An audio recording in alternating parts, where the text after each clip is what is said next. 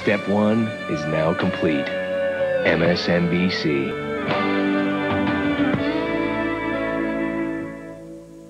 When the day is just about done, the world isn't going anywhere. It'll now be there waiting for you. The news with Brian Williams every night at 9, only on MSNBC. Remember when your address was where you lived? Cell phones were only in prison. And a mouse on your desk was hard to handle. Today, life has a whole new meaning. Now there's a show that makes the digital revolution work for you. At home, at school, and at the office.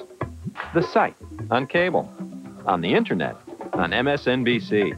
The site, every night at 10, on MSNBC. Imagine if you could turn back time. Good evening. I'm Tom Brokaw. I don't believe that I ought to quit. Maybe you're wondering how I got here. It was like being in the eye of a hurricane. Liftoff. What can you say about a sight like that? Relive your life and times. Good evening, live from the Berlin Wall. With exclusive moments from NBC News. Join Jane Pauley for Time and Again. Every night at 7 Eastern, only on MSNBC. The White House, home of the President of the United States. In the coming months, the American people will hear the issues and decide whether Bill Clinton will be back here for another four years. This evening, a conversation with President Bill Clinton on Internight.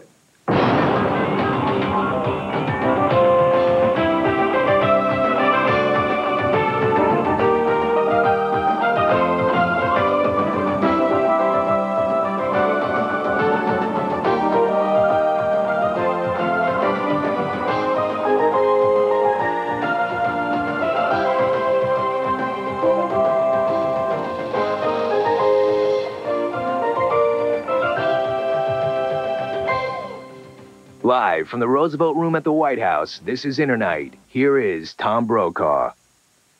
Good evening and welcome to Internight. It's going to be a nightly primetime program here on MSNBC in which we talk to the ma- major newsmakers of the day. And what better way to launch this program tonight than with our guest, our special guest, the President of the United States. he faces an election campaign that will determine his and this country's future. Mr. President, I was struck by the fact that we're here in the Roosevelt Room. No one personifies the beginning of the 20th century better than Teddy Roosevelt. And as we come to the conclusion of the 20th century, we're not only on cable television, but we're on the cyber universe as well on the Microsoft network. It's a remarkable time. I think Teddy Roosevelt would like this very much. Uh, this is a room that is named for Teddy and for Franklin Roosevelt. Uh, Theodore Roosevelt's Nobel Prize, which he won in 1905, is here in this room. We keep it here. And he really brought us into the modern age. And we're now going into a very different kind of world. And I think it would excite him very much to see it. We saw another demonstration of that different kind of world today when Boris Yeltsin stiffed the Vice President of the United States, to put it in inelegant terms. He stood him up. They had an appointment. Vice President told me earlier this evening he doesn't know whether Yeltsin's in good health or not, or, or whether he, in fact, is just fatigued. Does that make you a little nervous that we don't know the condition of his uh, physical being? Well, we have we don't know, but we have no reason to believe that he's uh, has a serious illness. We do not know. But I talked to him just a few days ago. We had a very good talk. He was very glad that the vice president was coming over. Um, Mr. Mamedov, his deputy foreign minister, uh, was just here a couple of days ago, and I saw him. So, in terms of the relations between the two of us, our two countries, we're doing fine. And I would urge us not to read too much into it. After all, he's just finished an exhausting campaign. You know how exhausting it is to run for president of the United States. And keep in mind, if you want to be president of Russia, you have to be willing to travel through 11 time zones. So he's been through a lot, and he may just be tired. But frankly, he has had some health problems in He the has. past. What happens to our intelligence in Russia that we can't find out what's going on with the president? Well, we normally have a pretty good idea. Uh, and as I said, I, we certainly have no reason to believe, as I am talking to you tonight, that there's something serious wrong, but we just don't know. We, we you know, we can't know everything, and uh, uh, we can't know everything instantaneously. But I have no reason to believe that he uh, did anything but ask Al Gore if he could delay the meeting. And I don't consider it being stiff since he, he knows what Al's, uh, what his itinerary is in Russia. He's not being asked to stay late or anything to, uh, to see him. Would you be surprised if Boris Yeltsin does not finish his four year term and that the reins of power are assumed by somebody like General Lebed? I would. I think he'll be able to finish his term. And uh, I was very encouraged that he found a way to put this new team together that kept uh, Prime Minister Chernomyrdin there, who's a real symbol, I think, of uh, stability and uh, progress, discipline. Uh, they're, they're a good team. And uh, Mr. Lebed seems to be finding his way into the team. So I, I think it's working out reasonably well so far. What makes you more nervous, Russia's fragile democracy or China's uncertain future? Well, I don't know that I'm nervous about either one, but I think that Russia is clearly uh, now committed to a democratic future and one in which it is a, a, responsible partner in world affairs. I think China is committed uh, to a future of uh, continued economic progress. I think they're still uh, ambivalent about uh, democratic freedoms, but we seem to be developing a more constructive relationship with them. Uh, I've told a lot of people, I'd like to say it again on your show because I want our, you've got a lot of future oriented people listening to this show. Uh, I think how Russia and China define their own greatness in the next 20 years will have a lot to do with how the 21st century comes out. And I want them both to define their greatness in terms of the positive achievements of their people, their, uh, their winning and peaceful cooperation on economic and cultural and athletic fields, and their willingness to cooperate with us to fight our common enemies, terrorism, the proliferation of dangerous weapons, and uh, environmental destruction and, and uh, diseases sweeping the globe. We need great countries working together if we're going to make the 21st century what it ought to be. Let's switch from international politics in the future to domestic politics. We have some polls tonight, good news and bad news for you. The latest NBC News poll shows that you've expanded your lead as of the moment over Bob Dole. You're leading now by a factor of 54 to 30 percent. That's about a 7 percent, a seven-point gain for you in just the past three weeks. Here's the bad news. Uh, we did a poll three weeks ago. We asked the question whether the people believe that you were telling the truth on Whitewater. By a factor of 55 to 24 percent, they said no. Mrs. Clinton, uh, it's even greater, 62 to 18 percent of the American people believe that she's not telling the truth. These are fundamental questions about personal character. Doesn't that bother you some that the American people believe that they're not getting the truth from It bothers me some, but I don't see how they could draw any conclusion other than that, since if you looked at the information that they've been given, I'm sure it's four, five, six to one negative. And uh, I think character is a legitimate issue, and I look forward to uh, to having that uh, discussion. But I think uh, that you can demonstrate character most effectively by what you fight for and uh, for whom you fight. And I believe that the fact that I've uh, stood up for the American people for uh, the uh, things like fighting for the family leave law or the assault weapons ban or the Brady bill or the V-chip for parents or trying to keep tobacco out of the hands of kids and a lot of other issues, those things will count for something and they demonstrate character too. But on the other matter, I just uh, I, I would like to remind everybody that uh, this has gotten a lot of exhaustive attention, uh, perhaps more than it deserves. And uh, every reading of the evidence, as opposed to another round of questions, uh, fails to demonstrate uh, any wrongdoing by either one of us. And I believe that in the end, that'll come out and come clear to the American people. I just think that uh, in the meanwhile, all we can do is go about our business. We got to keep working for the American people and let them sort that out. I feel good about it. What do you say to each other in the privacy of the living quarters about these questions, however, at the end of the day? Because none of us, after all, is immune to that kind of judgment on the part of the people that we care a lot about.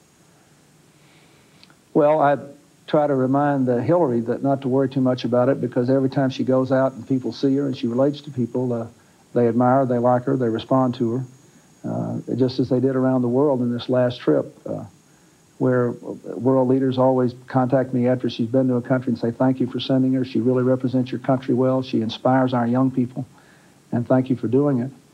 And I also remind her about the, the evidence being on her side. I mean, the, uh, it didn't get a lot of publicity, but there's only been one definitive report on this whole business, and that was the Resolution Trust Corporation's report, uh, supervised by a, a staunchly Republican appointee of the previous administration, which said that there was – no evidence of any wrongdoing, not even any basis for a civil action against uh, me or Hillary or her law firm, and that her billing records, which received so much publicity, actually confirmed her account. Now, that's a dispassionate view of the evidence. So I think the American people are fair minded. They've heard a lot more negative than positive, so they have questions. But I think in the end, they say, well, what do we know? And what has this man done? And what have they done? What have they fought for? Who have they stood with? And so I keep, I remind her uh, whenever this comes up, it doesn't come up so often anymore, that we only have so many hours of the day, and every day we spend thinking about that. Every minute we spend thinking about it is a minute we're not working on the job we were sent here to do. And so we just try to cooperate when questions are asked and keep working ahead when they're not. She's had to appear before a grand jury, and your very close friend Bruce Lindsey has been named an unindicted co-conspirator. He's down in Arkansas now in another trial. Does that ever lurk in the back of your mind that there may be more indictments that will arrive at the White House, maybe even for the first family after the election? Is that possibility? No, I mean, it's, it's a highly politicized operation, and I think it's obvious. There's no precedent for it in, that I know of ever. But even so, it's very hard to just make things up. And uh, I don't think anyone doubts that, for example, uh, uh, Mr. Lindsey, if, if there was any serious evidence he'd done anything wrong, that uh, they would have moved against him. So uh, we'll just wait and see. But I, I still believe it's hard to make a lie stick, call it the truth. I think in the end, the American people will figure it out. And uh, I wake up and go to bed every night with that assurance, and I'm just going to keep working.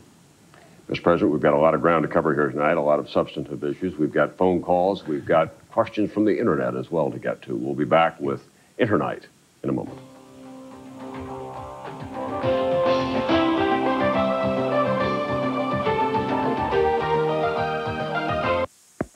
The revolution begins here. Because from now on, NBC News and Microsoft will revolutionize the way you get news. MSNBC. A 24 hour cable and internet news service. The future of news from the people you know. MSNBC. The world is an amazing place. Every day it changes. Problem is, until now, you haven't always been there to see it. A lot of people don't get to see the early news, and they think the late news is on too late. But with our primetime news hour on MSNBC, you can see all the day's stories on your schedule. You can even get into the news by getting on the internet. When the day is just about done, the world isn't going anywhere. It'll now be there waiting for you. The news with Brian Williams every night at 9, only on MSNBC.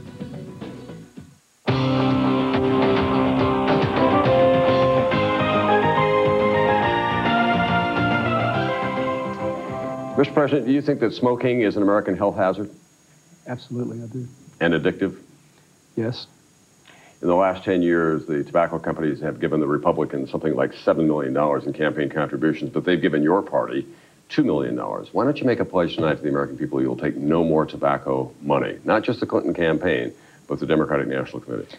Well, I, I think the Democratic Committee is reviewing its policy, although let me say, I have, I have never uh, fought even with the Republicans over their money. It's just a question of does, does the money have an adverse impact on your policy? It's their policy I disagree with. Uh, I have never tried to even put the tobacco companies out of business. I think they have a right to sell a legal product and they have a right to market it to adults. The real problem is that it's illegal in every state in America for children to start smoking, but 3,000 start every day. 1,000 of them will die sooner because of it. And we have to do something to stop it. And uh, you know, they'll have to answer whether the, the fact that they do better than we do on contributions has anything to do with their policy. But our policy is the correct one. And, you know, I don't want to treat the people who work for these tobacco companies like they're not citizens. They're, they're not doing anything illegal, but, that, but they're wrong in fighting us on this policy. They should help us. Now, but uh, given all that, why not just turn off the money spigot? Well, the money spigot has been pretty well turned off. I think that the last couple of years they're going five, six to one for the Republicans. But again, I, I don't want to get into that. I, the, the money is relevant only insofar as it has an influence on a wrong-headed policy. These people, they're not criminals because they work for tobacco companies. They have a, they're citizens. They have a right to participate in the political process. They have a right to have their voices heard. They have a right to sell legal products. What is wrong is they are marketing in ways that, that they know, I believe they know, has to be appealing to young people. If you look at young people, for example, who smoke illegally, are far more likely to buy the most heavily advertised brands than adults are. And uh, smoking would continue to deteriorate in this country and go down in, as a health hazard if people didn't start before they were adults. And I, that, I just want to keep the, the attention of the American people focused on that. And I, that's why my fight with the, with the Republicans has been clearly focused on their policy. They, got, they may get more money because of their policy, but their policy is wrong and they ought to change it. Recently, Bob Dole said, in response to criticisms of his stand on tobacco, you know, the Clinton administration, the use of marijuana and other illegal drugs went up before he started to do something about it. Why were you so late off the mark and beginning to attack what was a plain increase in the use of illegal drugs during the last four years? Well, the first of all, I don't think that's a fair criticism. I think the uh, if you go back and look at our 93 budget, we asked for more funds in 93, both for enforcement and for treatment. Uh, I named a drug czar promptly a man with a lot of experience running big city uh, police operations, dealing with drugs. And then when he left, I named General McCaffrey, who had uh, managed uh, our Southern Command and dealt a lot with drug exports. So I've been interested in this right along. The drug use did start going up in the early 90s uh, among young people, especially marijuana use.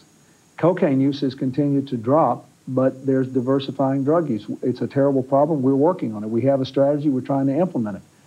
And uh, we've basically been able to do this in a bipartisan fashion in this country in the last 10 years or so, and I'd like to see us continue to do that. But it is a serious problem. When I came here, we instituted, even in the federal government, in the executive branch, uh, stiffer drug testing uh, policies than the legislative branch had. I think it's a really serious problem. I have always fought it. We'll continue to do so. Let's talk for a moment about welfare. The Republicans have a bill that they think you will sign on the Hill it eliminates the federal guarantee of cash assistance for poor children in this country, a guarantee that we've had in place since the early 1930s. Are you prepared to have that happen? Depends on what else is in the bill. But you would, you that would, is, if, if, if you can foresee the possibility that we'll take away the ultimate safety net of no federal cash assistance the, for very poor children. Of the guarantee, if if the bill has provisions in it which provide more child care to these same families, uh, which have more flexibility to enhance the ability of these the parents in these families to go to work, uh, which which help the young uh, parents who have children at home to be better parents. Uh, the money will still be spent on the children. The reason they want get, get the reason they want to get rid of the guarantee is so, so, the states will have more flexibility to require people to move from welfare to work more quickly. Uh, and if that's what's going on, then I can support it if the rest of the supports are enough. Let me just make one other point there is a dramatic difference already in the welfare benefits from the poorest to the richest states. There's not really a national guarantee that amounts to much now. We're not going to leave this alone. We're going to come back to Let's it in a moment it. because we want to talk some more about that. We want to hear from our viewers out there via telephone and the internet. Back in a moment on Internight.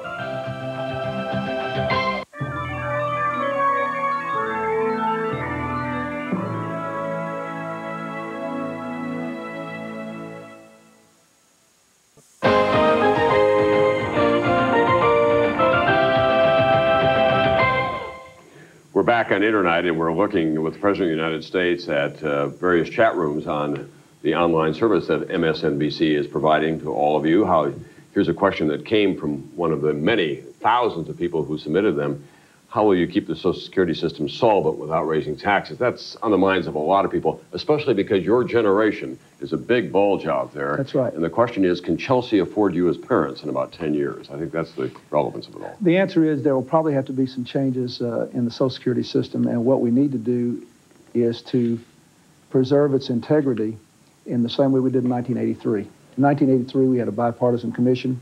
Uh, representing all the various interests in the country. They came up with a proposal and they implemented it. Now then they they did raise the payroll tax, but if you look at it now, it's a long way. This this system's solvent until 2019. And so we can make some changes now that won't require payroll tax changes that I believe will be widely accepted by the American people uh, if we if we get into it and we do it in a totally nonpartisan way, the way we did in 83. There's a growing wave of people out there who believe that we ought to either privatize it or give people that option. Do you think that's a good idea? Well, I, there's a uh, apparently going to be a report issued from the advisory commission that will recommend that this be looked into. Uh, I think uh, I think if you privatize the whole thing, you would really put people who are not sophisticated investors and didn't have a lot of money on their own at serious risk. If you gave them the option individually or as a system to do it, that's something I think you could study. You can even that, that's something that could be tested But before we do something that totally changes something that's worked rather well, there ought to be a way to test it uh, in a kind of a laboratory sense. And I would favor looking at it very closely with some evidence before we made a, a big sweeping decision. Here's another question. Uh, we had 60,000 hits on this system and 8,000 questions submitted. What is the most important thing that you've learned in the last four years? That the president can really make a positive difference, but that it requires every bit of concentration uh, every day to do it. You simply cannot be distracted. Uh, you have to keep thinking about your job and the American people. That's the most important thing. That, that I feel more optimistic today than the day I became president about the potential of all of us to change our lives together for the better, especially the presidency. But it requires enormous discipline not to be distracted and not to be diverted. And and I think there are a lot of other things I've learned. Uh, I've learned more humility. There are a lot of things I don't know the answers to that I once thought would be easy to find out. Were you ready for prime time when you arrived here, do you think? I think I knew enough to be president. Uh, I think I, uh, and I think my ideas were right and my vision was right. Uh, I think I would have been uh, probably a little more successful early on if I'd had more Washington experience, but I think maybe the fact that I didn't have any made me uh, more optimistic about what I could get done and more ambitious, and that, that was good. But I think that that I'm definitely better at my job than I was four years ago in terms of just getting through the day-to-day work of it. I just learned a lot. I don't think any, I don't think anyone, even someone who's been around here a long time, can be fully prepared for the pressures and the work of the presidency until you actually do the job. Here's another question, Mr. President. It's very relevant, very timely. With U.S. soldiers dying in defense of Saudi oil fields, shouldn't we have a renewed vigor about the pursuit of freeing the United States from the dependency on foreign oil? There's not been much talk recently, fairly, from either party about conservation or finding alternative forms of energy. Well, to, we have had, that's one of our budget fights that we had with the Republicans. Um, let, let me say, let me answer that question in two parts. We are not in Saudi Arabia uh, simply for Saudi oil fields. We're there because uh, it's a base from which we can prevent further aggression by Saddam Hussein in the area, first. And second, it's a base which enables us to cooperate with those who agree with us in the Middle East, including many Arab countries, in fighting terrorism. So that's not the only reason we're there. But we should be trying to become less energy independent. Uh, we have worked with Detroit to fund a clean car that gets three or four times the average mileage now. Uh, we have worked hard on alternative technologies. We have uh, worked hard to, uh, to do things that would make us much more energy efficient.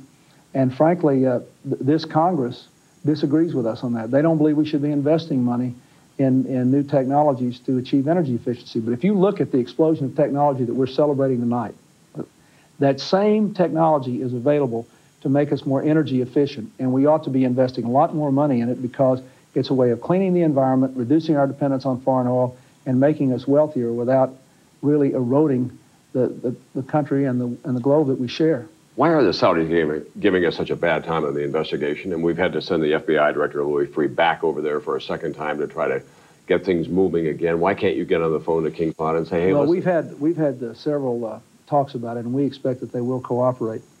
Uh, and I think the uh, I, I, think there will be cooperation. I do expect it.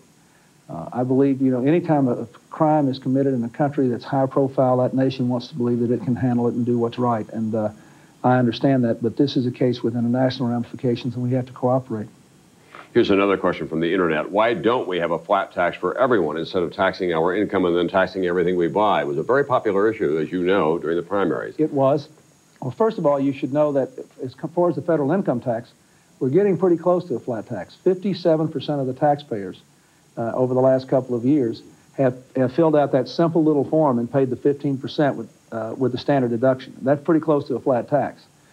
But I have never seen a single tax rate that did not either raise taxes on everybody that was making less than $100,000 a year or leave us with a much bigger deficit. So I am I, would do anything I can to further simplify the tax system. We're trying to let more people file electronically. I'm I'm all for making the form simpler, the rate structure simpler, but I have never seen a plan. I've studied them carefully because I've, I know how much people want to be free of it. It doesn't either raise taxes on most people or balloon the deficit, and we can't afford to do either one.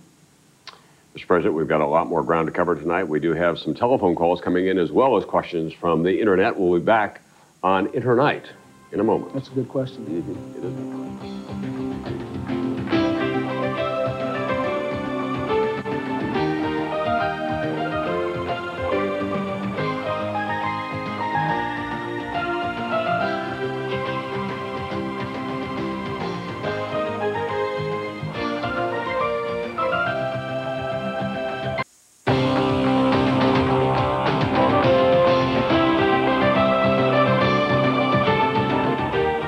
We're back on Internight, Mr. President. You and I have been looking at another question from uh, the Great internet. Does Chelsea net surf? And if so, how do you protect her from inappropriate material? Does she use the computer pretty handily?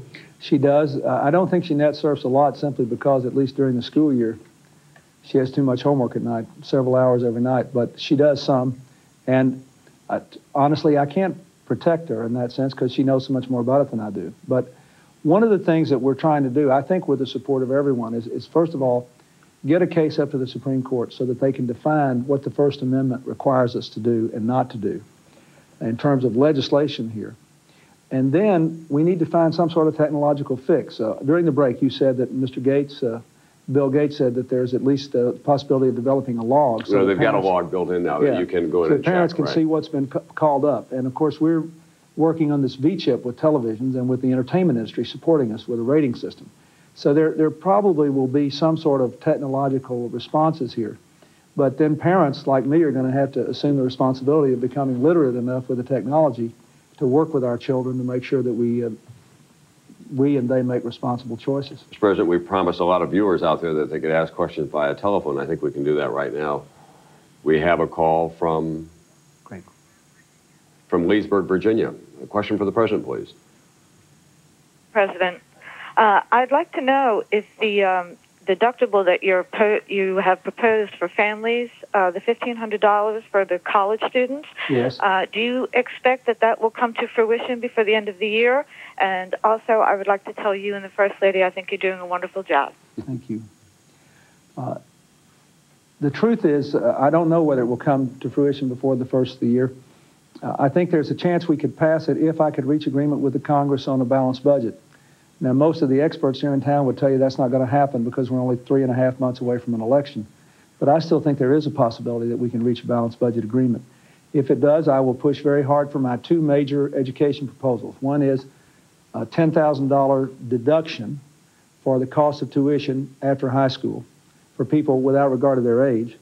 And in addition to that, a $1,500 credit for two years of college after high school, which would in effect guarantee uh, community college uh, access to people throughout the country. My goal here is to make college affordable for everyone, but to make the second two years at least a community college education as universal within a couple of years as high school is now because we know we need that. I mean, look at what we're celebrating here tonight. We need more education. So I expect to push it, and if we don't get it this year and, uh, and I'm successful in the election, then it'll be uh, a top priority just as soon as the Congress comes in next year. Mr. President, some people believe that for the moment it's just mostly campaign rhetoric, however, because you have not sent anything up to the Hill yet on the college deduction. But that's because if the only way we can pass it now this year is if it is put into an omnibus budget agreement.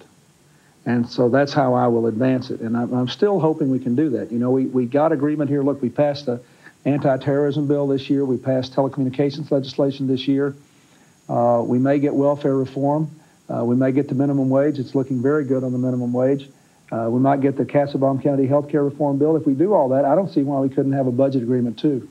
Mr. President, before we get back to the uh, internet questions, I wanted to follow up just for a moment on welfare, if I can. If, in fact, you sign the Republican bill that's likely to come down from the Hill, all the projections show that that will push, at least short term, more than a million youngsters in this country below the poverty line. That's a high risk for youngsters in this country who are already in peril. That's right. There are two problems, though. The, the main reasons for that are the proposal on food stamps, which I think may be moderated some, and what I consider to be excessive cuts in assistance to legal immigrants. We're not talking about illegal immigrants.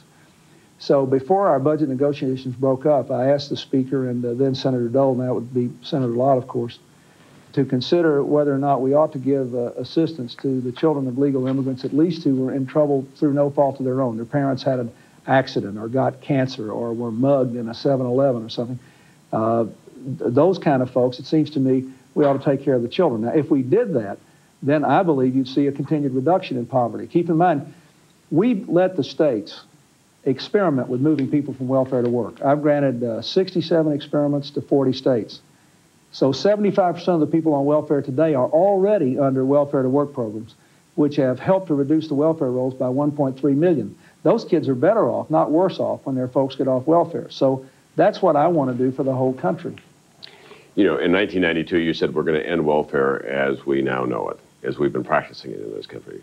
But most of your welfare proposals have been reacting to what the Republicans have proposed in the last year or so. They've not been. That's not accurate. I started granting these waivers.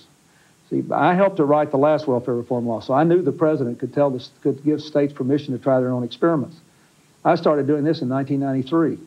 And then I sent legislation to Congress, which was not adopted in 94, so I just kept on doing the waivers. Then I vetoed the Republican welfare bill, and I kept on doing the waivers. So now, three out of four people in America are already on welfare, on the welfare to work experience. I think you can make a compelling case, as the New York Times said, that we've made a quiet revolution in welfare. I'd like to finish it. I'd like to go on and pass welfare reform legislation, but we're clearly moving in the right direction. We have another question from the internet about, uh, in fact, foreign policy and we're going to click onto it right now, even as you watch. We'll see how facile our people are. They're pretty good. Between the United States and China, what is more important, economy, the economy, or democracy? That's especially uh, concern to people in Hong Kong, obviously, yes. because next year the Chinese take over that city. Well, I believe over the long run, between the United States and China, the thing that's most important is democracy, because I think the freer the people are, the more likely they'll be to be responsible partners.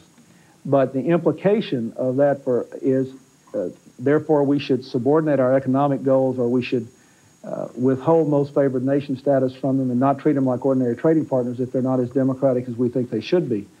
That's what I disagree with. That is, imposing some sort of economic sanctions will not make China more democratic. I believe they're more likely to become democratic if they progress economically, if we have regular relationships with them, and if we don't pull any punches when we disagree with them, if they violate human rights or do other things we don't agree with. So I believe that economic development and democracy will go hand in hand. And if you, there's some evidence of that. If you look at South Korea, it's more democratic today than it used to be.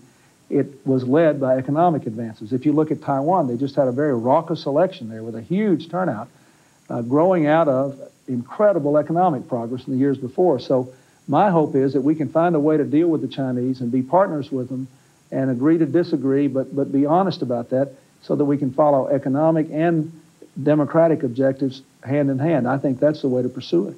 We have a question. I want to remind everybody that uh, we do have a telephone number out there. It's 1 888 676 2287. That translates, you'll not be surprised to hear, into MSNBC USA after the 888 number. We have a call now from Miami, Florida, Mr. President. Your Hello, question? Mr. President. It's an honor to be speaking with you. As Mr. Brokaw said, I'm calling you from Miami.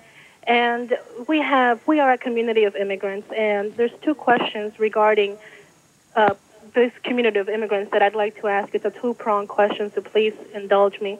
If the first one has to do with our brief, Cuban please. community, and we'd like to know whether you are going to enforce the title in the Helms-Burton bill, which allows Cuban Americans to sue companies and the investors in Cuba with confiscated properties. And the other question that I'd like to ask you is about the Nicaraguan community.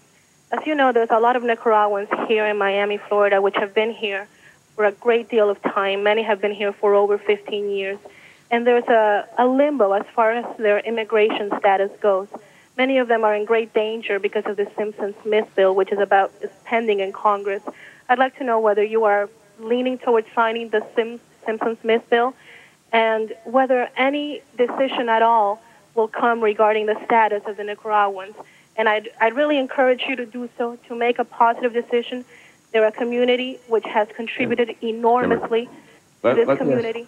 Let's, let, let's, let, let me answer the, the Nicaraguan right. question first. Uh, on the, the bill to strengthen our hand in dealing with illegal immigration, uh, I am strongly inclined to sign if we can get the provision out of there which would require uh, schools all over America to kick the children of undocumented uh, immigrants out of this country, out of the schools. I think that'd be a mistake. Every law enforcement group in America has come out against kicking the immigrant children out of the schools. So we need a bill that would give us some more tools to deal with the problem of illegal immigration. It's, it's, it's out of hand and it's wrong. And it's costing the taxpayers too much money, and it, it's, it's unfair to the legal immigrants who wait in line and do what they're supposed to do. Now, the Nicaraguans present uh, some special uh, issues, as you pointed out, and we will attempt to resolve those in a fair and honorable way. But on balance, the country needs this illegal immigration bill. With regard to the Helms-Burton bill, let me say, first of all, I signed it, as you know, after uh, the Cuban government shot down two airplanes and killed American citizens who were in international waters. Uh, we have already begun to enforce vigorously Title IV of the Act, which revokes the travel privileges to this country from companies that are involved in dealing with confiscated property. I have to make a decision on Title III tomorrow. After this program is over, I'm going to have a meeting about it, and then I'm going to have another meeting tomorrow. And I will uh, make a decision. I have, as I understand it, three or four different options under the law. Uh, the criteria is that I must do what I think is in the national interest of the United States and what is most likely to bring democracy to Cuba. And uh, in general, we believe that putting more pressure on does that. Uh, as you know, we've been uh, severely criticized by our European allies and others for, for doing this, and I was for signing the bill, but I believe that we have to keep pushing until we get a democratic response and some changes in Cuba. But I've not made a decision on specifically what I'm going to do on Title III, and I can't until I have uh, these meetings tonight and tomorrow. I'll make a decision tomorrow. Mr. President, we have another question from the internet on Internight. There it is. What do you admire most about Bob Dole, the man you're likely going to be running against next fall? Uh, well, I there's more than one thing I admire about him, but I think the thing I admire most about him is I believe he really loves our country. Uh, he he was hurt very badly in World War II. He could have been embittered. He could have walked away. He could have uh, lived a, very different, secluded life. He threw himself into politics and public life. And on uh, several occasions, uh, when I had to do unpopular things, uh, even when he disagreed with me, he didn't try to stop me. Uh, when I tried to help Mexico because I thought it was important, it was unpopular, he agreed with me. When I tried to Uh, support uh, democracy in Haiti, he disagreed with me. When I went into Bosnia, he disagreed with me, but he didn't try to interrupt it because he believed that you could only have one president at a time. And I believe he really loves America. And I think that's the first and most important thing for anybody who wants to get into public life. And, and I admire it. I think it's genuine, and I admire it. What do you think about the issues that your old friend Richard Lamm is raising, the former governor of Colorado, and the manner in which he is raising them? Well, I haven't, uh, I don't know about the manner in which he's raising them. I haven't had much time to keep up with the manner in which he's raising them, but I've known him a long time and very well. And uh, uh many of these issues we've discussed probably for 10 years or more now and uh, he's a, he's a brilliant man, and uh, he's a, a, man with some very strong convictions. and he looks at the world in a unique way, and uh, I'm looking forward to whatever contribution he makes to this debate. Will Mrs. Clinton have a role at the Democratic National Convention in Chicago? Do you expect that she'll address the delegates? I don't know. You know, she didn't. I don't believe she spoke in '92. Uh, there was a campaign film in which she spoke, but I don't believe she did. And we really haven't made a lot of the final decisions yet it's her hometown, and she's looking forward to kind of hosting a lot of things uh, there in Chicago because uh, she always uh, has considered it her home, and she still has a lot of uh, friends there from her childhood, and a lot of them are very active in the convention, so she'll be very active there. But uh, we, we, haven't decided uh, what specifically she'll do. Here's a question from the internet. One more: Independence Day, the movie. Could we really fight these guys off, or what, Mr. President? I loved it. I loved it, and I, I met, a lot of people did, apparently. Mr. Pullman came and uh, showed it. I thought he made a good president, and we watched the movie together. And I told him after it was over he was a good president, and I was glad we won. And uh, it made me wonder if I should take flying lessons. But yeah, I think we'd fight them off. We'd find a way to win. That's what America does. We'd find a way to win if it happened. The good thing about Independence Day is uh, is uh, there's an ultimate lesson for that for the problems right here on Earth. We we whipped uh, that problem by working together with all these countries, and all of a sudden the differences we had with them seemed so small once we realized there were threats that went beyond our borders. And I wish that we could think about that when we deal with terrorism and when we deal with the uh, weapons proliferation, we deal with all these other problems. That's the lesson I wish people would take away from Independence Day. Mr. President, we thank you very much for being our first guest here on Internight the new uh, enterprise of MSNBC, which combines cable television, of course, and the internet and telephones and over-the-air broadcasting as well. We thank you very much. We wish you well and Bob Dole as well in thank the coming months. Thank our, you very much. Our best to your family. We'll be back with more on Internight right after this. Step one is now complete. MSNBC.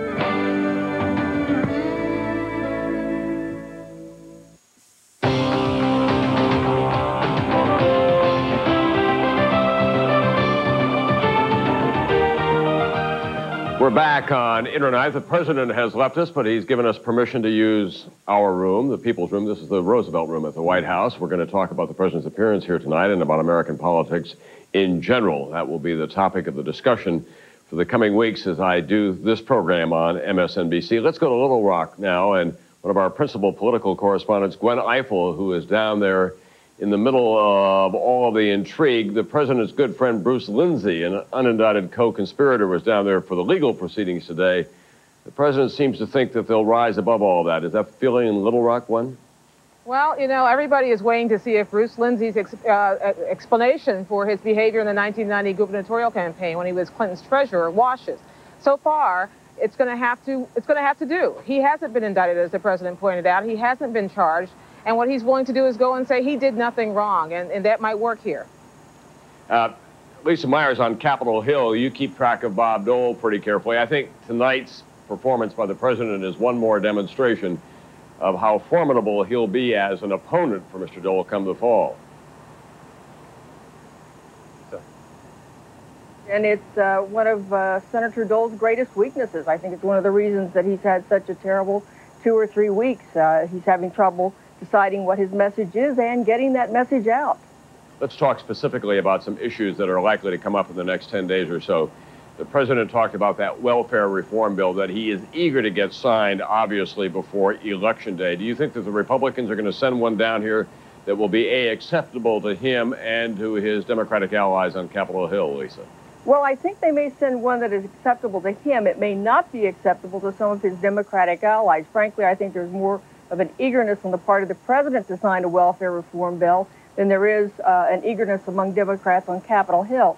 You made a critical point during the interview about this bill really undoing the guarantee of cash assistance to every poor child in America. That is something like that Democrats like Senator Daniel Patrick Moynihan of New York uh, think is a grave mistake. Tim Russert is now just outside, I believe, the West Wing of the White House. Uh, he is our Washington bureau chief, moderator of Meet the Press, of course. Tim, your call on the president and welfare. If if he does sign the bill the Republicans send down, it probably will do him a good deal of good politically in the country, but how much trouble will it cause him in the Democratic Party, and is that of any consequence?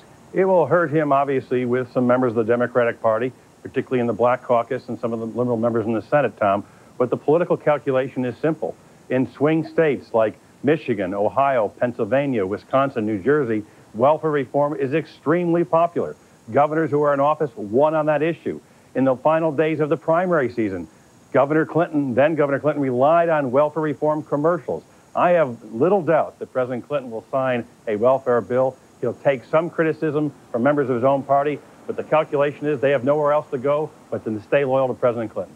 And come the fall, will this president be running on his own, or will he be out in front enough to say, listen, I can come into your congressional district and help you. Maybe we can win back the Senate and the House. Tom, if these numbers hold that we saw today in the poll, you show the president 54 to 30. Even if the race tightens a little bit, you're going to see Democratic congressional candidates flock to the president.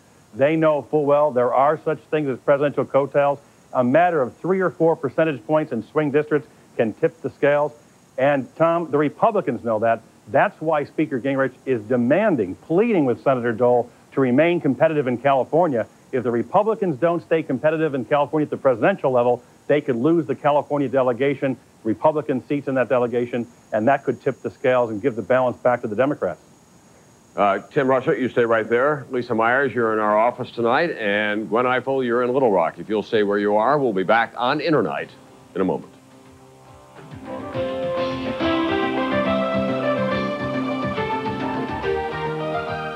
Imagine the freedom of instant access to the news you want when you want it. Now it's reality. MSNBC on the internet, not a service that duplicates, but innovates. In-depth coverage of the news you care about. MSNBC, bringing you the world on your desk, in your home, wherever you may be. When you want to know more, point it here. Dateline Tuesday. On the streets, crooks are making big bucks smuggling tax-free cigarettes. It's really not a whole lot different than a drug dealer. While your tax dollars are going up in smoke, could a major tobacco company be benefiting from this black market business? The volume of being moved is staggering. A Dateline investigation. Dateline Tuesday. We're back on Internight. The question to our political reporters here in Washington and in Little Rock tonight, beginning with you, Tim Russert. Does Bob Dole's choice of a vice presidential candidate change the equation for him dramatically come August? Uh, significantly, but probably not dramatically. He needs someone, I believe, Tom, who's young, vibrant, who shows a contrast in age, and someone the American people feel comfortable with. Uh, but it means at best three or four percentage points. Lisa, what, what's your judgment on that call? I think he needs to take a risk and do something exciting, something that will capture the imagination of the American people and get them to give him another look. Who's your name? Whitman or Ridge. Governor Christine Todd uh, Whitman or uh, Governor Tom Ridge of Pennsylvania. Okay, Gwen Ifill in Little Rock, it's time to put yourself on the line. well, I think that Bob Dole is going to have to come up with a message of his own, or it won't matter who his running mate is by the time he gets to the convention. He's got to come up with someone exciting. Governor Tom Ridge is an example. I am the one from the outside who thinks George W. Bush of Texas might be a good idea, but it's got to be something bold. What's the greatest possibility of peril for President Clinton between now and Labor Day, Gwen? Right here in, in, White, in Little Rock, hmm. the Whitewater questions and what happens in that courthouse behind me. Any thought down there that there could be additional indictments for the White House?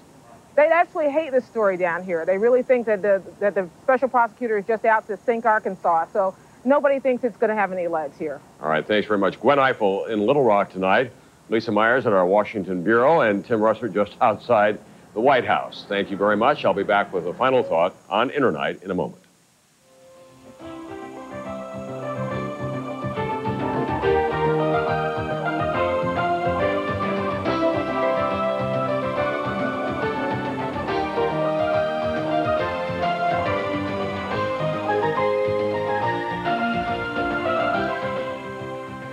Thank you very much for joining us on this debut performance of Internight with the President of the United States. Remember, 8 Eastern Time every night of the week. Bob Costas, Katie Couric, Bryant Gumbel, and Bill Moyers. And I'm Tom Brokaw. We'll be here every night. Tonight, we'll remind you as well that Donald Baer, who's the communications director of the White House, and the telecommunications advisor, Greg Simon, will be on MSNBC.com. We'll see you tomorrow night here on Internight. Uh, Senator Dole was invited to be here tomorrow night. We do expect to see him in the foreseeable future. Good night.